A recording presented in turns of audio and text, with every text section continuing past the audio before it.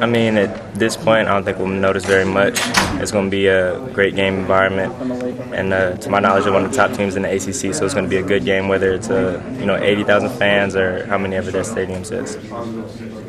Just kind of, you mentioned kind of three deep coverage. Is kind of a game for you to because you've made your mark kind of underneath stuff in Michigan, all that. Is this is kind of a good matchup for you? Hope so. I mean, I hope so. Yeah. yeah. Just see, we'll see how the game plan goes Yeah. further down the week. Uh, we just broke into the game plan a little bit uh, today's practice, so I'll know more, or the team will know more about what we're doing later in the week. How, how do you kind of evaluate the season that you've had? I mean, you're. It's like you know we talk about Floyd a lot, we talk about Eifert a lot, and then kind of just I would say it's a better season than I had last year. As a player and a person, I've grown. So there's a lot of positives. There's still things I need to work on in years to come, but I feel overall for myself it's solid thus far.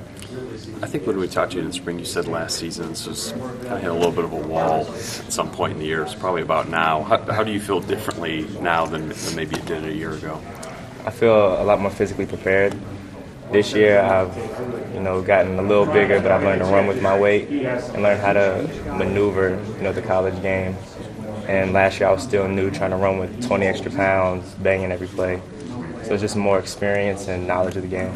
BK was up here, said he felt like in some ways you've kind of been underutilized this year. I mean, do you you feel that way? I mean, I don't look at it look at it that way.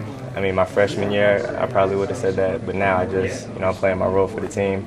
And if it's, you know, two, three catches a game or five, six catches a game, I'm gonna just play my role and you know, set up blocks or make those catches. So let's get uh, BK about Floyd earlier.